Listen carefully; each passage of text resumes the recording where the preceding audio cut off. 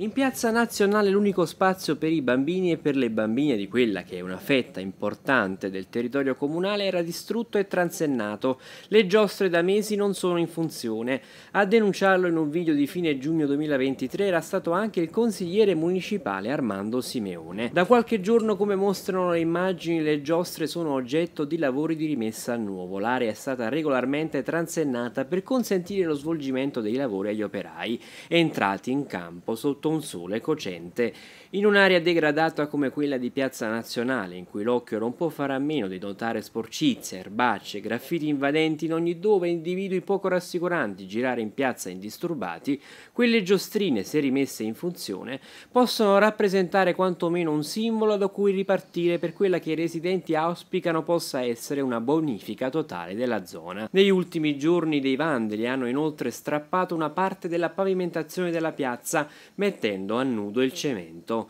Ascoltiamo le parole dei residenti. Specialmente dentro la piazza non ci sta più un gioco per, per bambini, è una cosa assurda, anzi i bambini giocano tra le macerie. Ci vorrebbe un po' più di civiltà da parte del cittadino, del quartiere, eh, questo qua dovrebbe essere un quartiere rivalutato e rivisitato dal motivo che ci sono già vetri a terra rotti, sporcizia ovunque.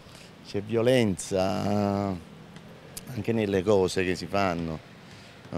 prima insomma era più pacifico. Finalmente dopo mesi di battaglie abbiamo ottenuto la canterizzazione del, um, di questo piccolo, uh, quest'area giochi. Purtroppo la manutenzione manca, forse costa caro.